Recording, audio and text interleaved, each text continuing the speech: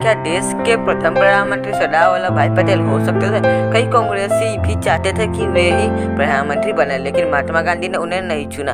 यह प्रश्न मध्य प्रदेश गठन के बाद से चला आ रहा है। आइए जानते हैं कि सरदार वल्लभ भाई पटेल के एक कामयाब प्रशासन होने के बावजूद आखिर गांधी ने उन्हें प्रधानमंत्री के पद के लिए क्यों नहीं चुना? यह सब जानते हैं कि भारत के लौह पुरुष के रूप में पहचाने जाने वाले सरदार पटेल एक रेत प्रतीक के राजनेता थे, जिसके कारण कांग्रेस का हर एक सदस्य उन्हें देश के प्रधानमंत्री के रूप में देखना चाहता था। लेकिन इतनी खूबियाँ और काबिलियत होने के बावजूद उन्हें देश का प्रधानमंत्री नहीं चुना इसके पीछे की वजह जानने के लिए हम चलते हैं साल 1946 यानी कि 1946 में। 1946 में जैसे जैसे भारत को आज़ादी मिलने की उम्मीदें बढ़ रही थी, वैसे वैसे कांग्रेस के द्वारा सरकार के गठन की प्रक्रिया भी शुरू हो चुकी थी। सभी की निगाहें कांग्रेस के अध्यक्ष के पद पर टिकी हुई थी, क्योंकि ये लगभग तय हो चुका था कि जो कांग्रेस का अध्यक्ष बनेगा, वही भारत के प्रधानमंत्री के पद के लिए भी चुना जाएगा। भारत छोड़ो आंदोलन का हिस्सा बनने के कारण कांग्रेस का ज़्यादातर नेता जेल में थे। छः साल से अध्यक्ष पद का चुनाव न हो पाने के कारण मौलाना अबुल कलाम आज़ाद ने ही कांग्रेस के अध्यक्ष पद की कमान संभाली हुई थी। 1946 में अध्यक्ष पद के लिए चुनाव होने थे। मौलाना आज़ाद भी इस चुनाव में भाग लेना चाहते थे और साथ ही प्रधानमंत्री भी बनने के लिए इच्छुक थे। लेकिन महात्मा गांधी के साफ़ मना कर देने के बाद उन्हें यह विचार छोड़ना पड़ा। मौलाना आज़ाद को मना करने के साथ साथ गांधी ने यह ज़ाहिर कर दिया था कि उनका समर्थन नेहरू के साथ है।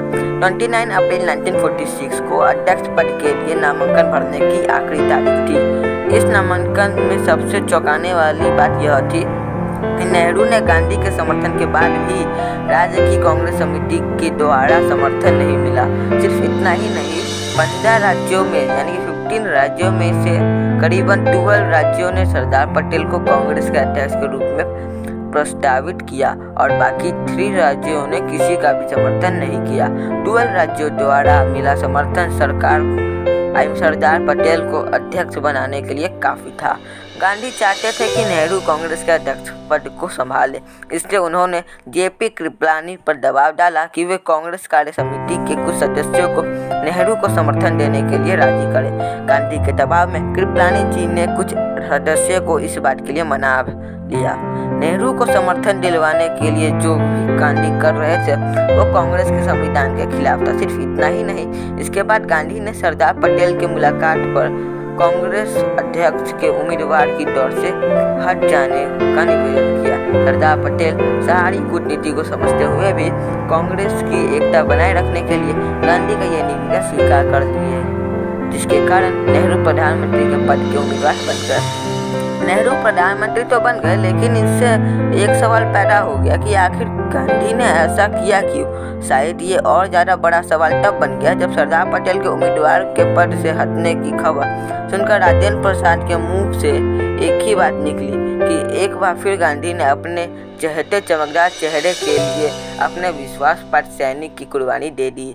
नेहरू और पटेल के प्रति गांधी के रुख पर हुए अध्ययन के अनुसार गांधी को मॉडर्न विचार पसंद थे, जिसकी झलक उन्हें विदेश में पढ़े नेहरू में दिखती थी।